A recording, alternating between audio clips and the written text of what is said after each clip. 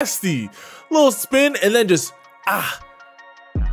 Perfectly only where his receiver can get it. Hey, my guy, he is talented out here. Okay, showing showing off the wheels a little bit. Hey, if he if he's running like this as a sophomore, when he gets into his junior and senior year, when he